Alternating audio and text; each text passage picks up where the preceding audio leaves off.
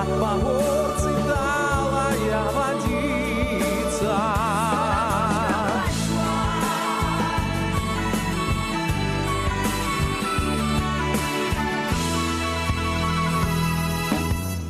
За цябе я аддам і жыццё і душу і ў Бога адно я заўсёды прашу каб меў я радство з благароднай крывёй то напэўна была і навекі маёй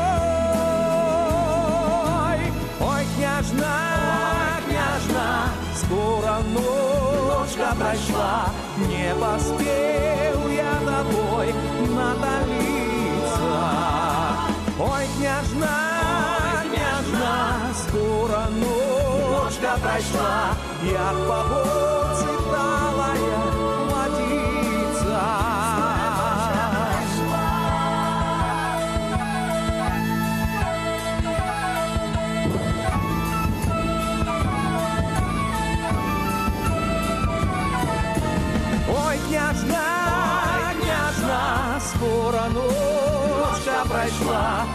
Не поспел я тобой натопиться. Ой, княжна, княжна, скоро ночка пройшла, Я по горце талая водица. Ой, княжна, княжна, скоро ночка пройшла, не поспел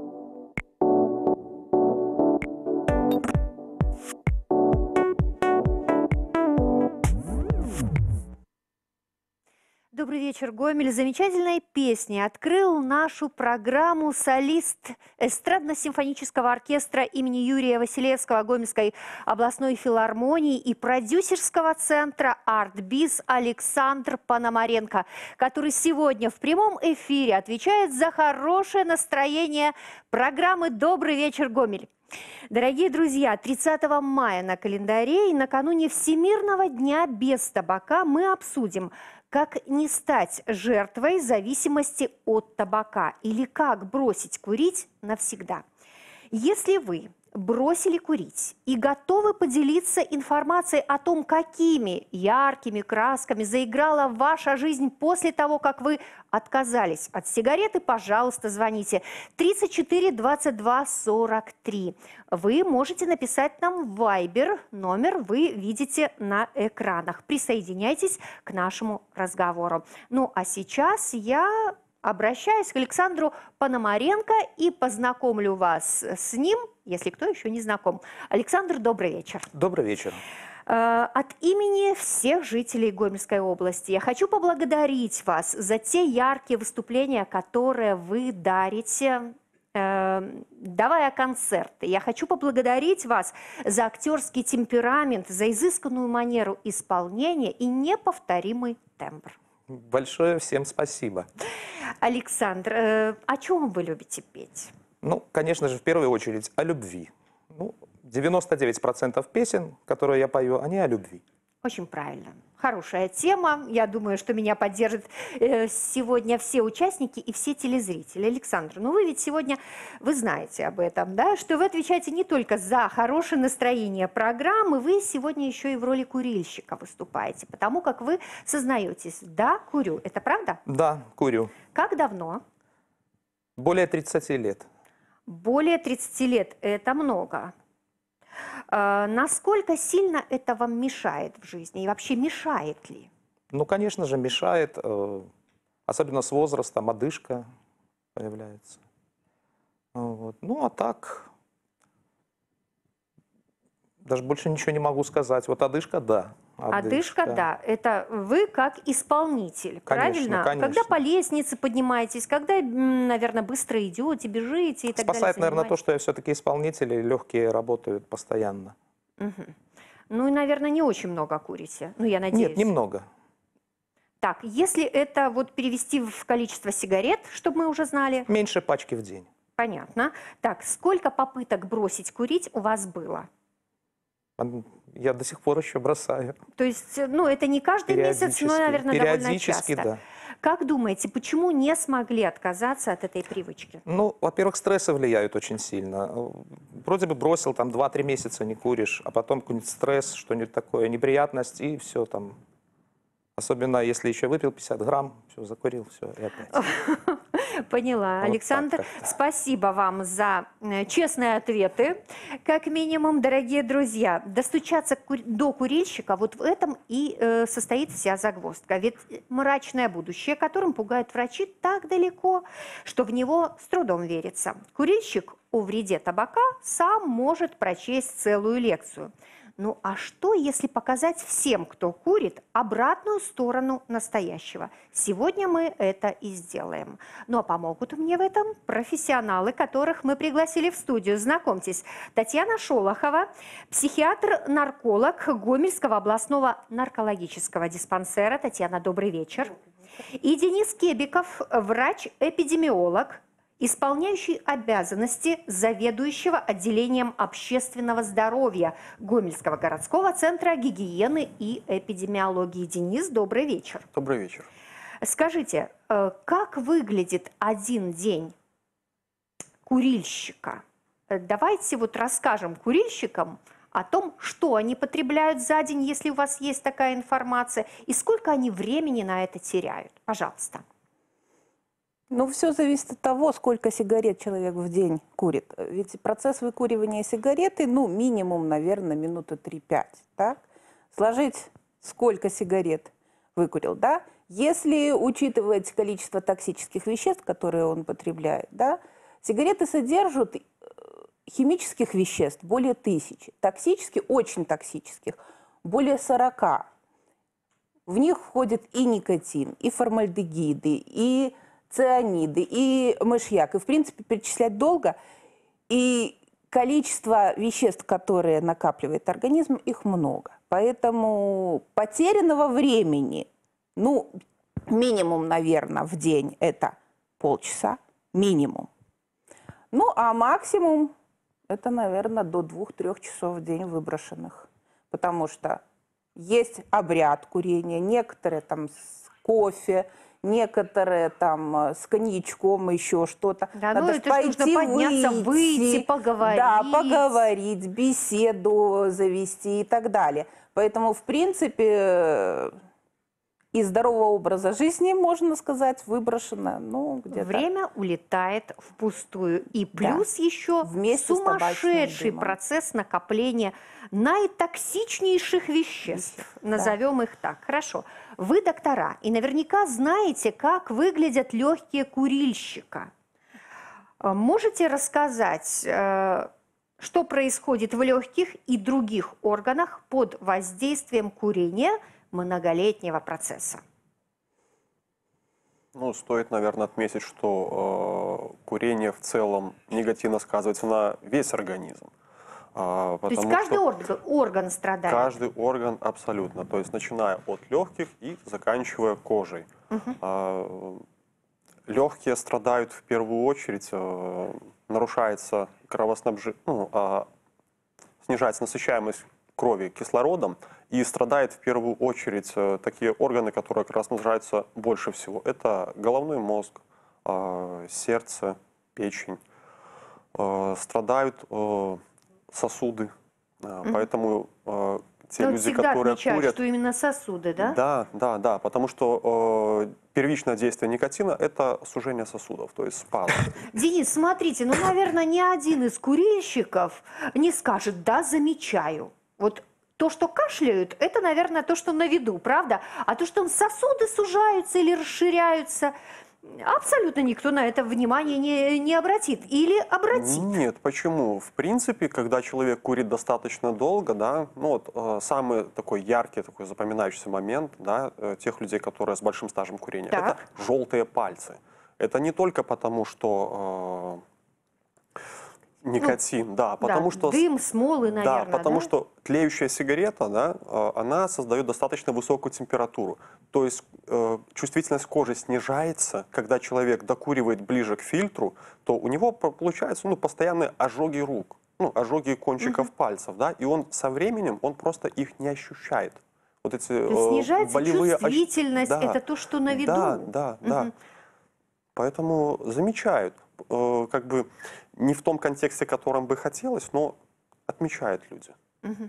Если Есть что говорить о добавить? сосудах, да, в первую очередь в большей степени страдают мелкие сосуды, поскольку спазмы, частые спазмы после выкуренной сигареты, они разрушают мелкие сосуды, и они забиваются, закупориваются. Соответственно, организму необходимо это восполнять, и э, образуются новые, более поверхностные. И, в принципе, курильщики отвеча- отличаются тем, что у них видна сетка более поверхностных сосудов на это коже. как вот и у людей, которые злоупотребляют алкоголем, правильно? То есть на алкоголем, да. лице это сразу Естественно, можно конечно. будет отметить. Только разница у алкоголя, там закупорка идет тромбами сосудов, а у курильщика закупорка сосудов идет жировой тканью, которая э, в свою очередь закрывает пробелы, э, те дыры, которые образуются в результате разрушения э, клеток сосудов от спазмов частых. Вот клетки отмирают, образуются, ну, грубо говоря, дыры, и на этом месте, чтобы кровь не вытекала внутрь органов, образуются такие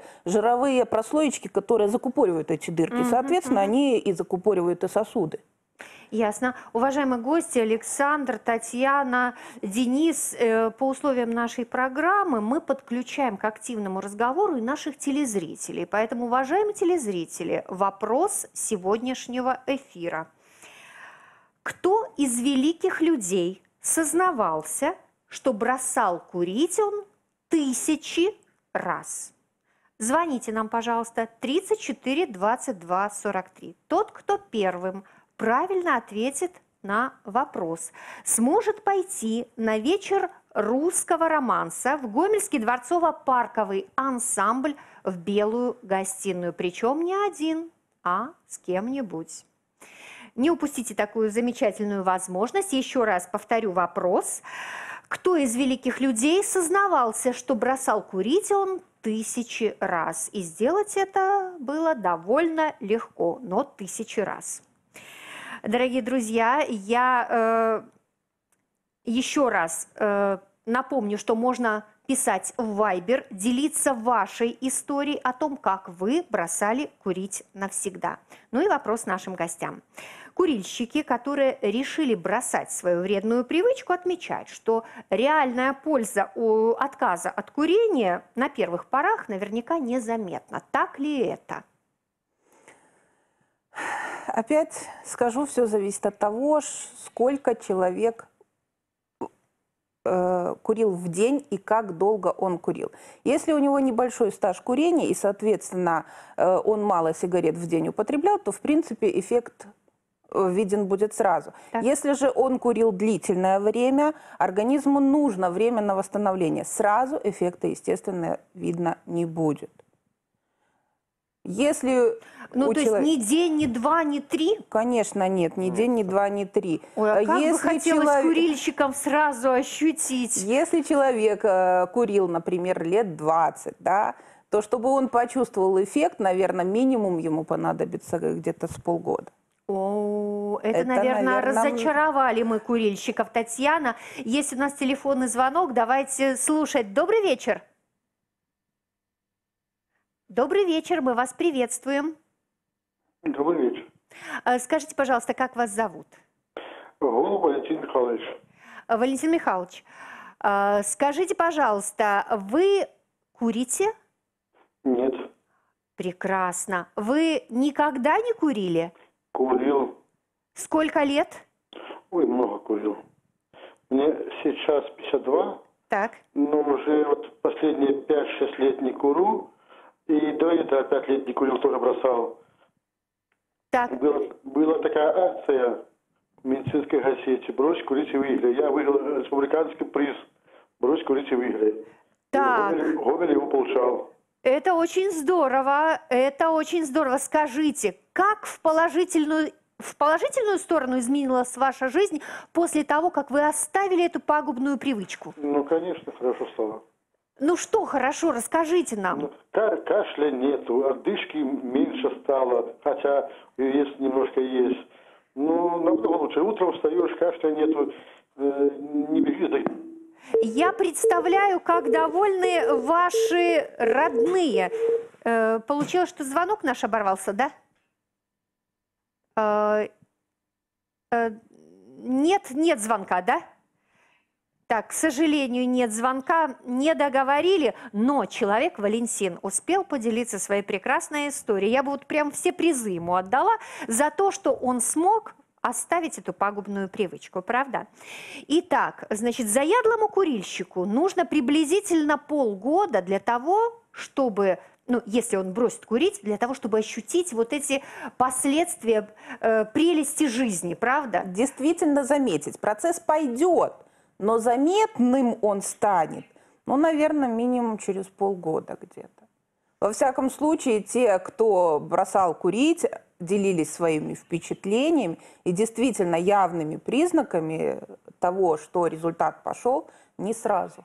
Татьяна, э, пока подумайте, ну вы наверняка владеете сразу этой информацией, что произойдет через пять лет с, курильщи- с прежним курильщиком.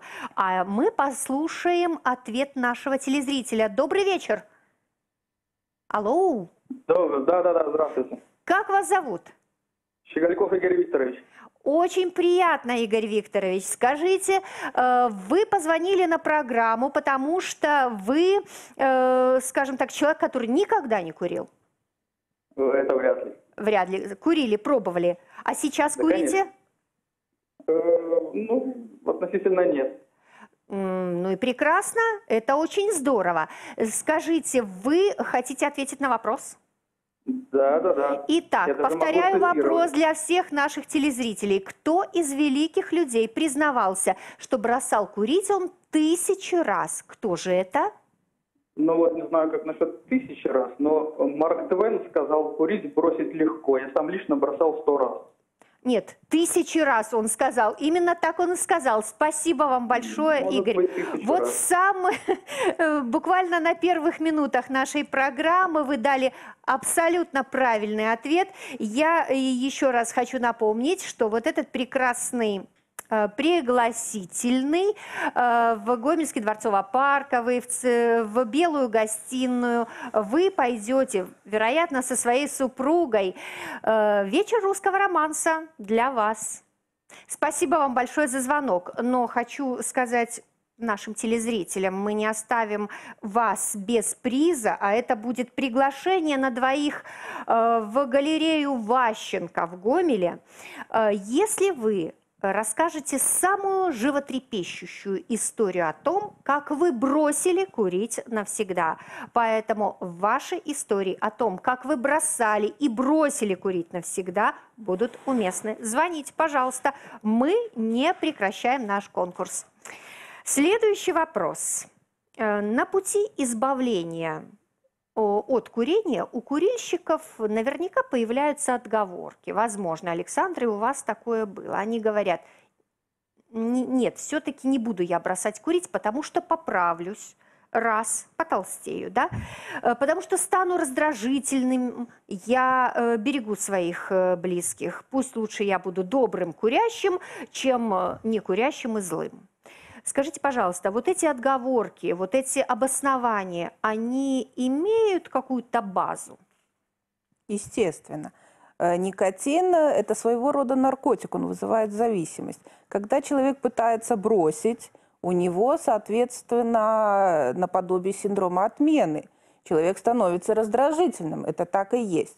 Что касается насчет поправиться, да, э, когда человек бросает курить, ему надо чем-то это заменить. И очень часто они чем-то заедают, чтобы вместо сигареты там конфетку, печенюшку. То есть э, больше, Да, э, больше, больше продукта, кушают. больше кушают э, и, соответственно, могут поправиться. Вот, так что это... А давайте спросим у Александра. Вы бросали курить, бросали. Отмечали какие-то изменения? Ну, Поправился? В молодости стал- никаких изменений не было, я тогда еще курил мало, а вот да, вот уже с возрастом, да, вот я бросал курить лет пять назад, довольно на длительный срок. И за 4 месяца поправился на 7 килограмм. Мгм. И поэтому решили закурить снова. Ну, и не только поэтому, и поэтому тоже, потому что, как бы, да, конфеты, печенюшки, постоянно карамельки какие-то, орешки, семки. То есть, получается, борешься с одной зависимостью, приобретаешь, э, ну, скажем, зависимость другую. Э, потянуть в рот что-нибудь. Денис хочет, тут, да? тут нужно просто немножко еще понимать, да, что никотин, в принципе, он э, при э, попадании в организм, да, он действует и на пищеварительную систему тоже. Он притупляет чувство голода. Поэтому тот человек, который курит, он, в принципе, ну, э, может голодным ходить достаточно длительное время. Когда никотин из организма выводится, э, процесс Позывы вот восстановления... эти поесть. Да, это нормальная реакция организма, что он хочет кушать. И Хорошо, он- что тогда мы посоветуем человеку, который отказался от курения, но кушать хочется? Пить воду?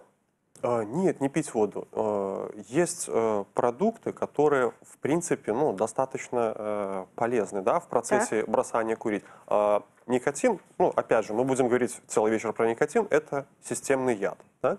Значит, э, когда он попадает в организм, в- организме курильщика витамин С разрушается очень-очень быстро. А, Поэтому его нужно восполнять. Поэтому достаточно э, употреблять э, продукты с большим количеством витамина С. Очень хорошо брокколи.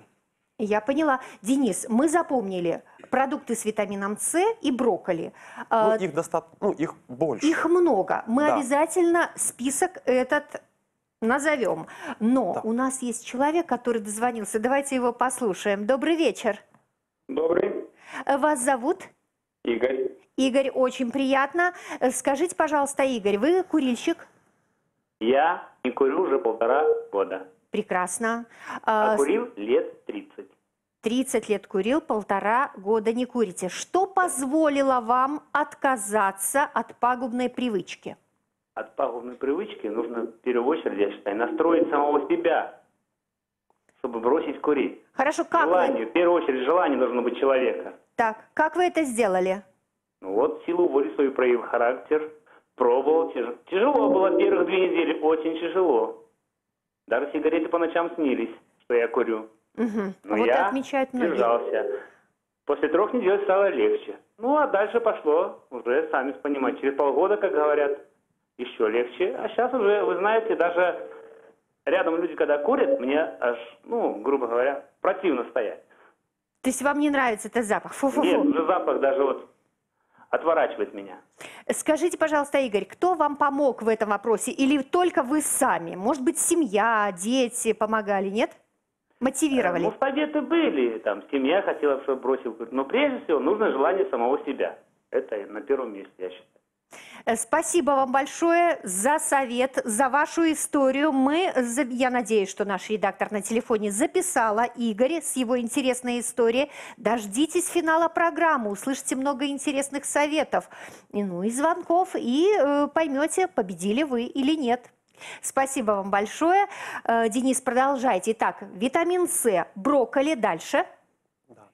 Значит, э, Ну, наверняка, возможно, это молочные какие-то продукты, нет? Да, да, это э, молочные продукты, молоко тоже достаточно хорошо влияет э, на процесс восстановления. Ну, в целом, ну, вот из таких больших, ну, групп продуктов, наверное, в принципе, пока. Татьяна, добавите что-то? Соки. Соки, натуральные. Натуральные соки. Но ни в коем случае, если вы собираетесь бросать курить вместо сигареты, не по- использовать кофе, ни в коем случае сигарету не заменять энергетиками и алкоголем. Мгм. Это ни в коем случае. Ну и стараться, стараться, ну не скажу запрет, не, стараться не пить вместо соков газированные воды. Лучше натуральные соки. Это точно будет способствовать набору веса, да, и наверняка будет, вот вы сказали о кофе, наверняка вот эта ассоциация с сигаретой, чашечка кофе, она будет подвигать с одной человека. стороны это ассоциация, с другой стороны кофе это кофеин. Кофеин это тоже стимулятор. Он будет тоже раздражать те же самые нервные рецепторы. И, соответственно, желание закурить будет больше. Мгм. Есть у нас еще один телефонный звонок. Спасибо, Татьяна. Давайте слушать. Добрый вечер. А, не получилось, э, сорвался звонок. Я думаю, что, уважаемые телезрители, вы обязательно дозвонитесь после рекламы. Я хочу напомнить вам, что на телеканале «Беларусь-4» «Добрый вечер, Гомель» говорим мы сегодня о вреде курения и о том, как бросить курить навсегда. Дорогие друзья, вас ждут интересные факты, э, хорошей информации и очень красивая песня Александра Пономаренко, который сегодня отвечает у нас в программе за хорошее настроение. Все это будет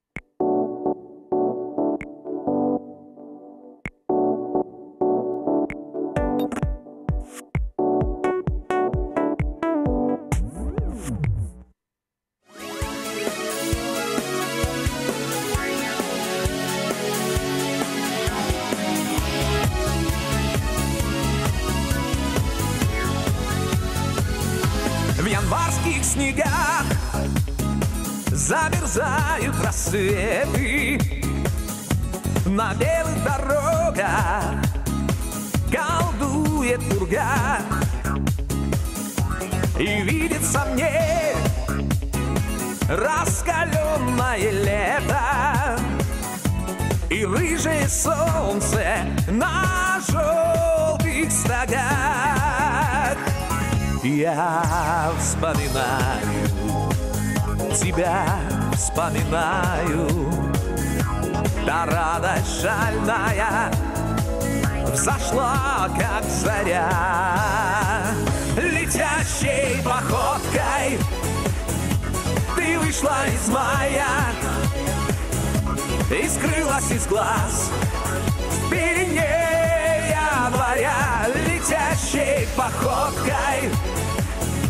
Ты вышла из мая И скрылась из глаз в пелене января. Шесть месяцев были на небыль похожи. Пришли ниоткуда, ушли в никуда. Пускай мы во многом с тобою не схожи Но в главном мы были едины всегда. Я вспоминаю тебя, вспоминаю. Та радость шальная взошла, как заря. Летящей походкой ты вышла из мая И скрылась из глаз. В пелене января Летящей походкой. Ты вышла из мая.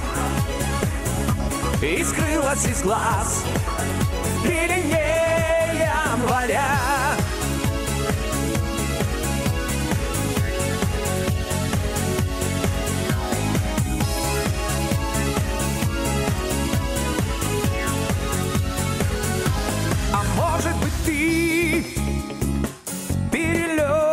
бедная птица И холод зимы убивает тебя.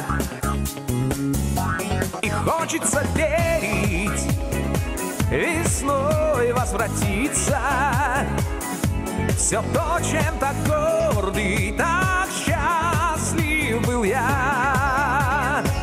Я вспоминаю тебя вспоминаю. Та радость шальная Зашла, как заря. Летящей походкой Ты вышла из мая. И скрылась из глаз В пелене января. Летящей походкой Ты вышла из мая и скрылась из глаз в пелене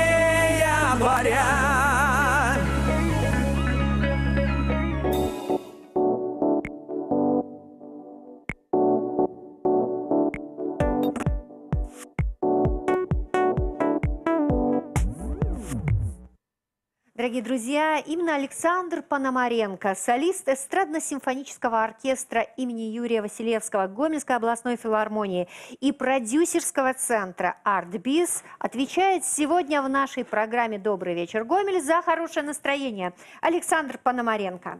Дорогие друзья, сотни средств придумало человечество для борьбы с курением. От антиникотиновых пластырей до программируемых портсигаров. А в Японии можно купить зажигалки, которые при каждом прикуривании исполняют несколько тактов траурного марша.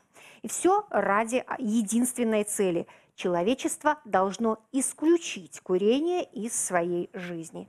Чему посвящен Всемирный день без табака 2018 и какие мероприятия в его рамках проходят именно в нашей области, спросим об этом у наших гостей. Татьяны Шолоховой, психиатра-нарколога Гомельского областного наркологического диспансера, Дениса Кебикова, врача-эпидемиолога, исполняющего обязанности заведующего отделением общественного здоровья Гомельского городского центра гигиены и эпидемиологии. Итак, уважаемые гости, какие мероприятия проводятся в Гомельской области в рамках акции по борьбе с курением?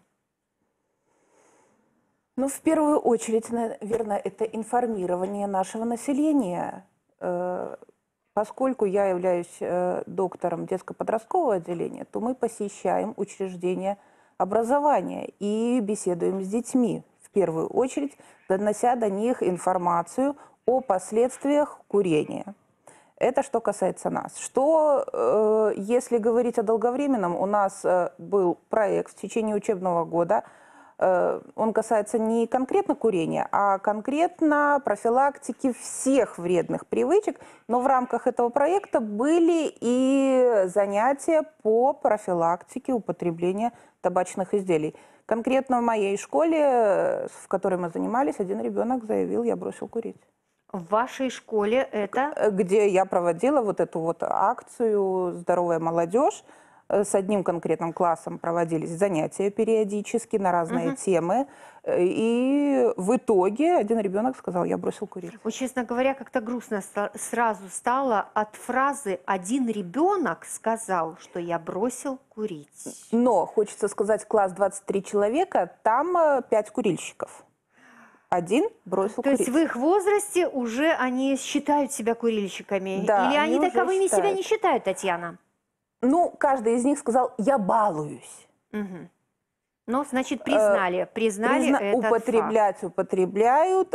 Ну, я в любой момент, конечно, могу бросить курить, но э, тем не менее бросил один ребенок. Это уже хороший результат. Это хороший результат. Денис, присоединяйтесь, какие акции проводят. Я знаю, что раньше на конфеты обменивали, обменивали сигареты. Сегодня это работает? Все верно, да, Так. есть, проводим мы такие акции. Мы их проводим где-то за неделю до э, Всемирного дня и немножко позже захватываем, потому что э, хотим посетить как можно больше э, предприятий, организаций, значит, и как можно э, большему количеству людей подарить такую вот маленькую сладкую радость. Э, ну, э, акция... Конфету вместо сигарет. Да, да, Ну что да. нужно? Что нужно? Э, сказать, что я хочу бросить курить или отдать пачку сигарет? Нет, не надо давать пачку сигарет. Человек приходит, ну, это такой небольшой э, психологический толчок для него. То есть он Так. при- берет свою сигарету, он ее ломает, э, бросает э, в- в емкость, да, мы ему выдаем вот такой сладкий приз. То есть человек, э, пусть он лучше э, скушает такую конфету, да, э, чем он выкурит сигарету и отравит еще больше свой организм. Э, Еще мы э, проводим, ну, это часть нашей работы, мы э, социальная реклама. То есть мы, Денис, о Да. социальной рекламе чуть позже, просто уже Да, давно нас всё. ждет телезритель. Э, Не забудьте, что вы Не хотели забуду. сказать. Добрый вечер. Здравствуйте, Елена и гости студии. Здравствуйте, вас зовут? Герасим. Очень приятно, Герасим. Вы хотели бы вопрос задать? Да, я хотел бы Александру задать вопрос. Александр Пономаренко, так. Да-да, Пономаренко, мне понравились его песни. Ну, так Спасибо еще вам, бы. Саша, за песни. Я хочу задать вопрос, но сначала хочу один куплетик для гамельчан. Гамельчанин, есть оно на свете, счастье без сигарет. Оно в цветах, животных, музыке и детях. Так брось курить, и проживешь ты много лет.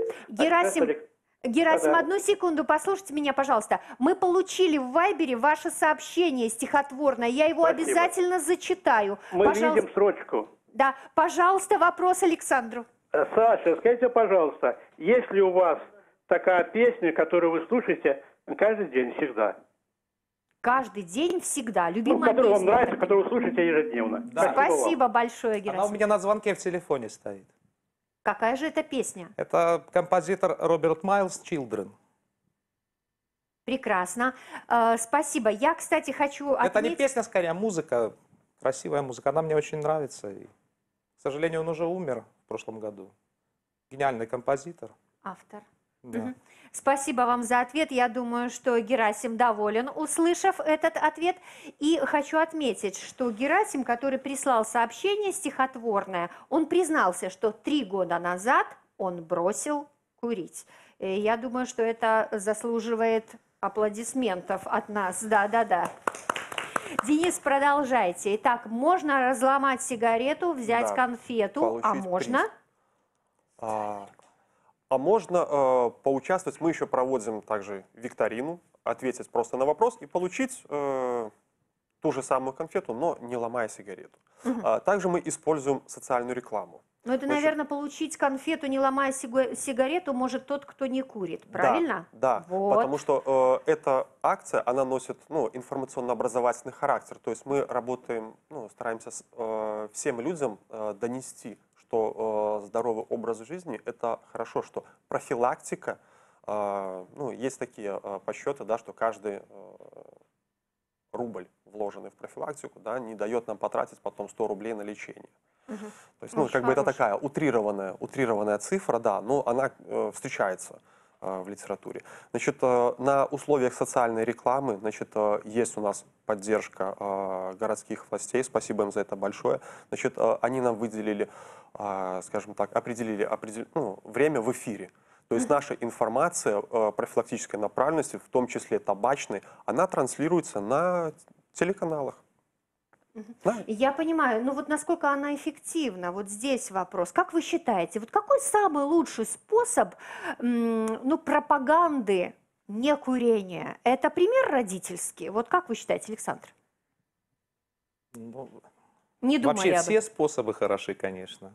Все нужно пропаганды попробовать. некурения, Ради конечно. того, чтобы бросить курить, нужно Я всё считаю, что попробовать. нельзя ничего утрировать, а все преподносить как бы в дозированной форме в какой-то. Не надо там заставлять людей бросать курить и заниматься спортом там без памяти или еще что-нибудь типа такого. Надо все в меру, чтобы было. И Послушаем. Любые, Ну, любые есть, способы ну, Я так пропаганды понимаю, хороши. что нужно, чтобы человек сам решил. Мне В первую это очередь. не нужно. Никакой э, экстрасенс или там никакие вот эти вот пластыри, это не поможет, если ты сам не захочешь. Татьяна, ваше мнение, вот какое самое лучшее средство, способ, э, чтобы бросить курить? Чтобы бросить курить, естественно, должно быть желание. Это то, что- самое главное – желание. Как бы родные не хотели, если человек сам не захочет, все вспомогательные методы работать не будут.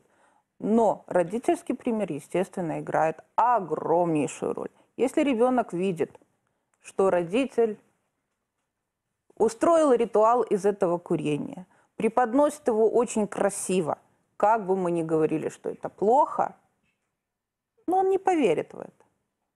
Другое дело, примеры жизни рассказываю. Так. Есть у меня подруга, которая курит и имеет довольно большой стаж курения. Хотела она бросить курить, потому что разные заболевания у нее пошли, но не получается. То ли силы воли не хватает, то ли что. От детей она всегда пряталась, всегда пряталась. И однажды дети ее подловили. Мама, как так? Ну, она говорит, видишь, дорогая дочь, да, зависимость, что не я хочу отказаться. бросить, Да. я хочу бросить, у меня не получается. Ты видишь, как я сильно болею, это плохо, но бросить я не могу. Лучше не начинать, лучше бы я не начинала. Вот у меня были такие нехорошие друзья, которые меня вовлекли это курение, и сейчас я не могу бросить. Вот. Но мне плохо, я часто болею, и при этом Э, Дети видели, что мама всегда прячется, куда-то уходит, но у нее какой-то запах. А когда поймали, мама преподнесла правильно. И на сегодняшний день детям дочери 22 года, мальчишки 19 лет, они не курят. Ну и, скорее всего, уже не закурят. Э, Судя по их высказываниям, не закурят. Ну и прекрасно. Хорошо, Вот. спасибо, Татьяна, за пример. Такой, дорогие друзья, вот мы говорили с докторами о том, как изменяются внутренние органы, легкие человека, который курит. Но ведь человек и внешне меняется. И я прямо сейчас хочу, э, девочки уже в деле, но все же я их представлю. Э, визажист Ольга Щеголькова, Оля, покажись. И модель скаутингового агентства города Гомеля Дарья Стрельцова. Добрый вечер. Добрый вечер. Э, Я, дорогие друзья, хочу отметить, что обратилась я к Ольге с такой просьбой. Вот она человек, который делает, создает красоту. А сегодня э, по нашему заданию она должна создать антикрасоту. То есть с помощью косметических средств она попытается э, изобразить, как будет выглядеть цветущая девушка, модель Дарья С- Стрельцова, если вдруг, не дай бог, она закурит. Даша, кстати, вы не курите? Нет, я не Нет. курю. Прекрасно. Девушки, работайте. Оль, сколько времени понадобится на создание антиобраза? Минут пять, я думаю. Минут пять, да? 5-10 Ну хорошо, максимум. не торопитесь, в принципе, время у вас есть. Девушки начали, но я по ходу еще задам все-таки Оле несколько вопросов. Оль, вот можно на глаз определить, кто из ваших клиентов, которые приходят к вам так на макияж, курят? Ну, я не могу сказать, что прям точно можно определить, э, потому что проблемы, которые возникают при курении, и внешние показатели, которые возникают при курении, ну, такие же э, проявления бывают при различных заболеваниях. Других, так. Да, но все же, что это? А, Но чаще всего, когда человек курит, э, его выдает чаще всего сухая кожа, а, желтизна белков глаз, э, желтые зубы, синяки под глазами очень часто бывают, ну, руки, вот, как уже говорили, да, и, наверное, желтоватые. волосы. Волосы, да, сухие. Ну вот, ну, в основном, если вот прям сухая очень кожа, я очень часто уточняю, курите ли вы, и, ну, как правило, оказывается, что да. Вот я по ходу хотела бы спросить, э, смотрите, Татьяна, а если бы девушка отказалась от курения, да, э, как быстро ее кожа вернулась бы в норму? Это тоже зависит от того, как давно она курит и как много курит. С одной стороны, это зависит от того, как долго и много она курит, и зависит еще от того, как она ухаживает за этой кожей. Мгм. Если она использует там специальные крема, специальные пи- питательные э, гели, масочки и так далее, соответственно, кожа быстрее восстановится. А, все, поняла. А то я уж испугалась. Думаю, ну вот теперь курильщицам есть хорошая отмазка, да? Вот курю, масочки делаю, все у меня в порядке.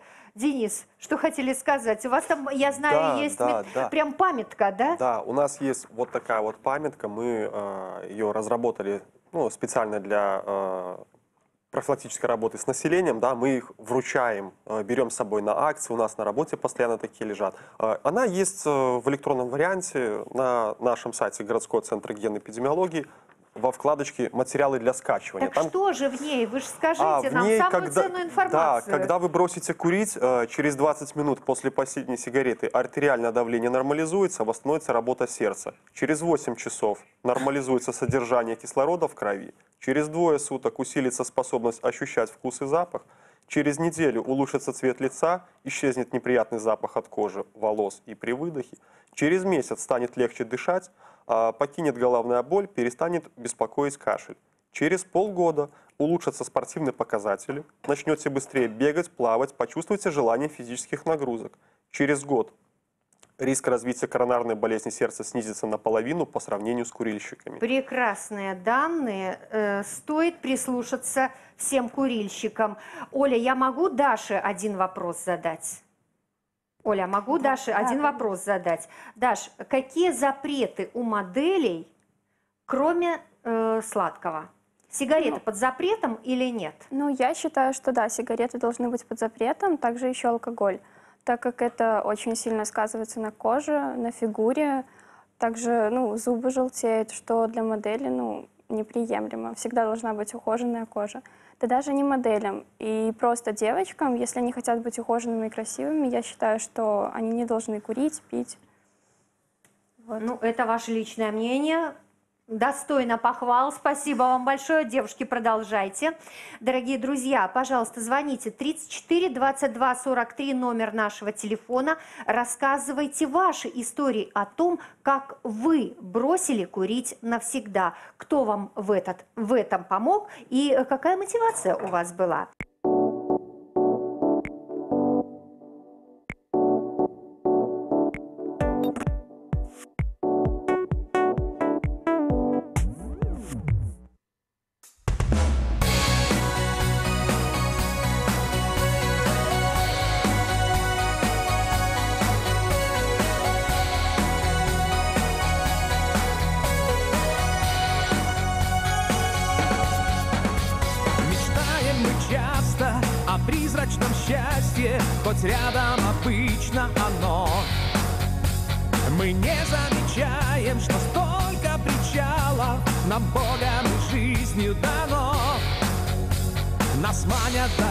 Дороги, терзают тревоги, как в старом забытом кино.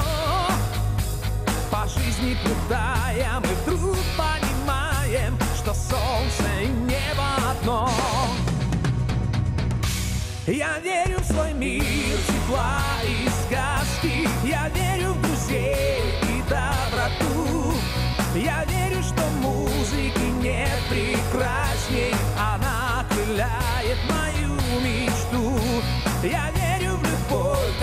до точки, и это мой главный оберег. Я верю и знаю, это точно, я просто счастливый человек.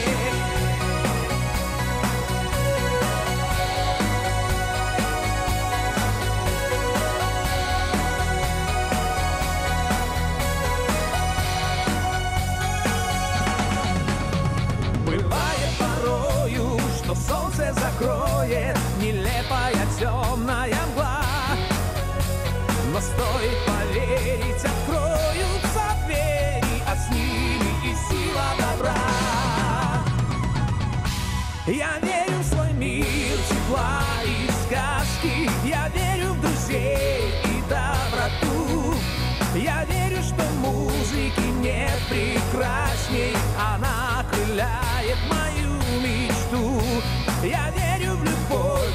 конца, до точки, и это мой главный оберег. Я верю и знаю, это точно, я просто счастливый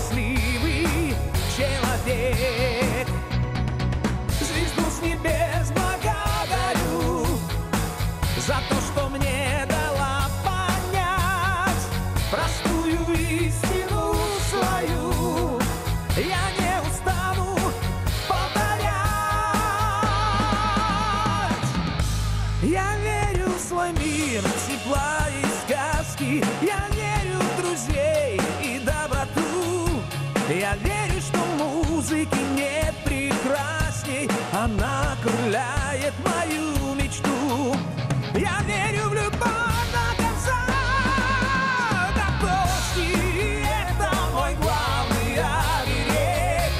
Я верю и знаю, это точно. Я просто счастливый человек. Я верю и знаю, это точно Я просто счастливый человек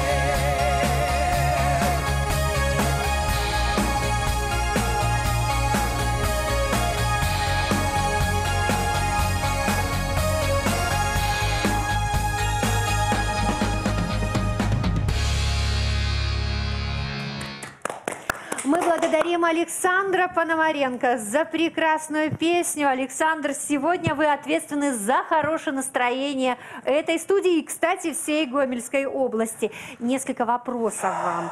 Какие песни составляют основу вашего репертуара? Теперь мы знаем о любви.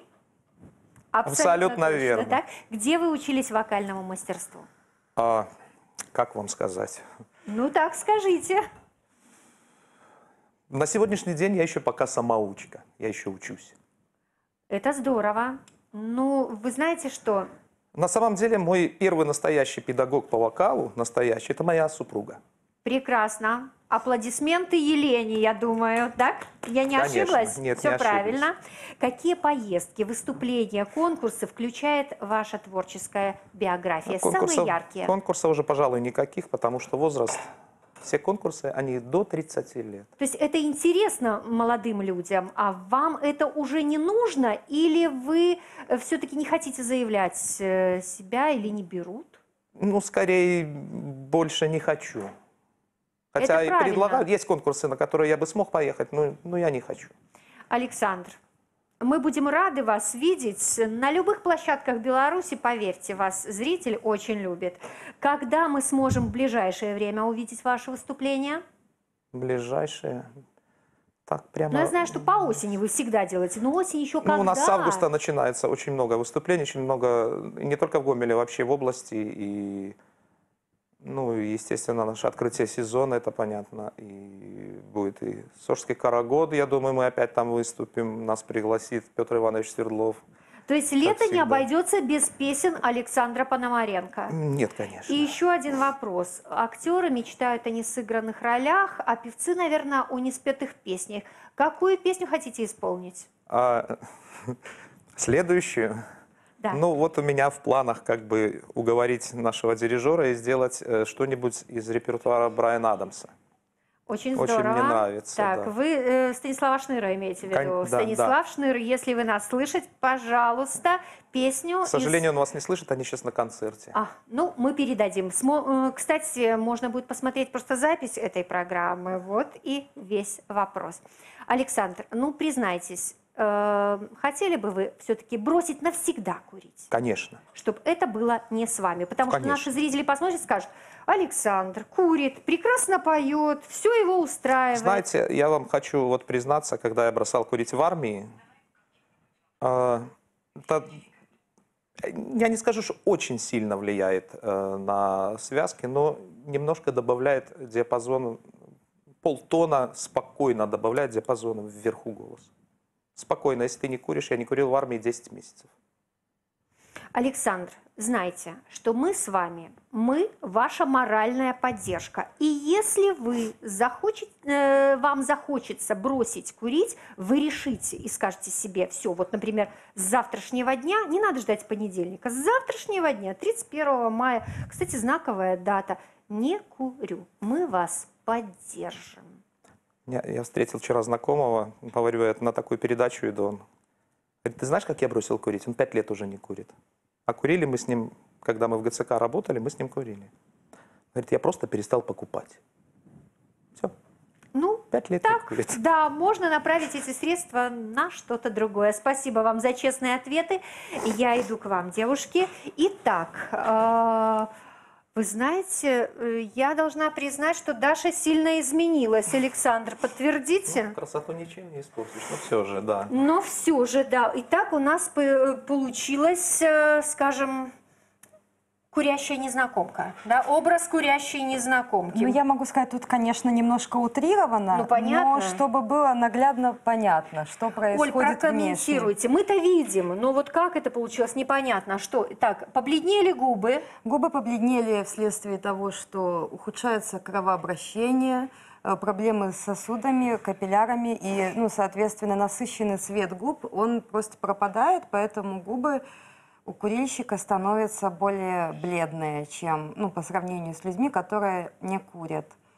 Э, Появляются синяки под глазами. Ну, это, как правило, либо следствие работы почек ухудшенной, э, ну и остальных органов, которые могут влиять на цвет под глазами. Ухудшается цвет кожи. Кожа становится более бледная, зеленоватым оттенком. И мне кажется, даже морщинки, которых у Да. Даши вообще не было, они вдруг появились, проявились. А, да, потому что кожа, которая э, склонна к сухости, она намного быстрее стареет, чем кожа, которая эластичная, наполненная влагой.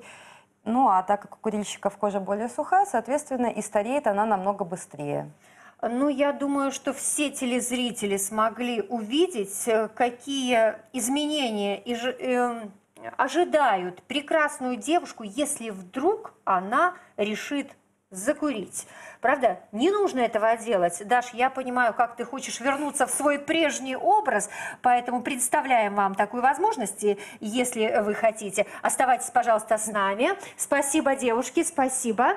Э, Ну и остается у нас э, еще очень несколько важных моментов. Э, Дорогие специалисты, я хотела бы обратить ваше внимание на проблему курения подростков. Скажите, пожалуйста, в чем состоит коварство никотина по отношению к детям, по сути, к подросткам? Дело в том, что у детей еще полностью не сформирована психика полноценно, да, и э, нейромедиаторы более чувствительны к токсическим веществам. И, соответственно, процесс зависимости у подростка э, идет намного быстрее, развивается более стремительно. И вот это чувство модно, я как все и так далее, оно способствует тому, что подросток очень быстро попадает в ловушку никотина. То есть это однозначно. Если попробовал, есть пример друзей, то, скорее всего, что из лап этих цепких э, табачных уже сложно будет выбраться, правильно?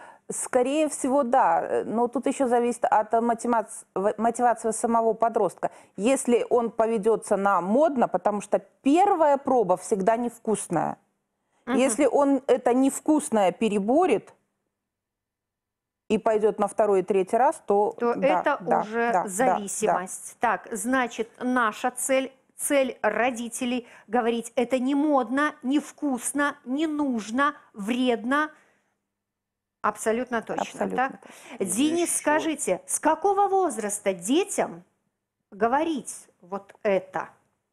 Ну, вообще, в целом, э, начинать работу с детьми нужно, ну, я считаю, чем раньше, тем лучше. То есть Потому что- двухлетнему ребенку стоит это уже говорить? А, ну, вы знаете, есть такой э, момент, ребенок из сада приходит, и он знает, что огонь – это плохо, и как звонить в МЧС, он тоже знает. А что курение – это плохо, мы начинаем с детьми проговаривать, ну, как правило, ну, с 4 с 5 класса.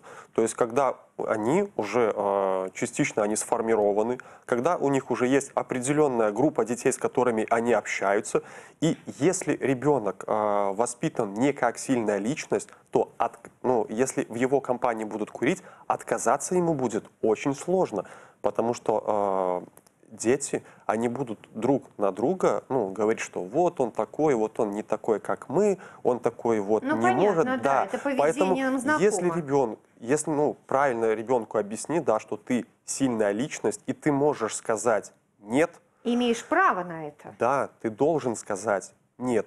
И, э, как правило, чтобы он не обращал потом внимания, что э, будут там на него пальцем показывать, либо что-то ему говорить вслед. Поэтому мое мнение, ну, со мной согласятся много медицинских работников, что чем раньше мы начинаем э, работать на э, формирование э, Характера да, Да. личности. Да, и И устойчивого... родителей, кстати, в том числе. Да, устойчивой приверженности к здоровому образу жизни, то э, чем раньше, тем лучше. Знаете, будет неправильно, если я, наверное, не спрошу, а можно ли обращаться в городской центр гигиены и эпидемиологии или, например, в наркологический диспансер к какому специалисту, если э, родителям понятно, что да, ребенок курит где-то там за гаражами с друзьями. Вот можно приходить к специалистам? Куда? Когда? Можно, конечно, приходить. М, Можно и в наше детское отделение подростковое. Находится на Богданова, 13. Мы работаем с 8 до 18 в будние дни, с 8 до 14 в субботу. В принципе, обращаться можно. Есть у нас отделение э, дневного стационара. У нас даже оказываются услуги иглорефлексотерапии для тех, кто хочет бросить курить. Э, Есть и такая услуга, но это больше, наверное, для взрослых. Э, Хотя и подросткам нашим никто не отказывает. И, в принципе, было бы у человека желание. Спасибо вам, спасибо за эту информацию. Ну что ж, совсем немного времени остается, и я э, хочу э, сказать Игорю, Игорю, если я не ошибаюсь, да, который бросил курить. Уважаемый Игорь, это э, приглашение посетить картинную галерею Гаврила Ващенко ваше. Вдвоем вы можете сходить на выставку. Не забудьте забрать завтра или в любой другой день это приглашение. Оно будет ждать вас. Спасибо большое. Дорогие друзья, буквально минутка и ваши пожелания всем тем, кто желает бросить курить или задумывается, а может мне закурить? Кто? Денис, Татьяна? Ну, кто хочет бросить курить, добавьте себе мотивации, посчитайте, сколько денег у вас уходит на сигареты в месяц, не в день, в месяц.